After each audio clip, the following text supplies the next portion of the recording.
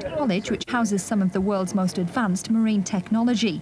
Merchant Navy officers from all ranks come here from as far afield as Australia and Malaysia to pilot some of the most difficult and dangerous shipping lanes. These include Sydney Harbour and the Straits of Malacca. It's quite uh, awesome, the, the reality, the realism of it. It's uh, very good. I was here a few weeks ago when when there's a preview and uh, some of the developments are quite, uh, quite good and uh, it's very realistic. It's not as easy as it looks, is it? It isn't, no. the, uh, it's very realistic, but uh, it does allow us to make the odd error.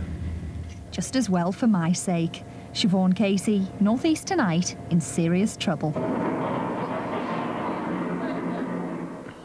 Good, that.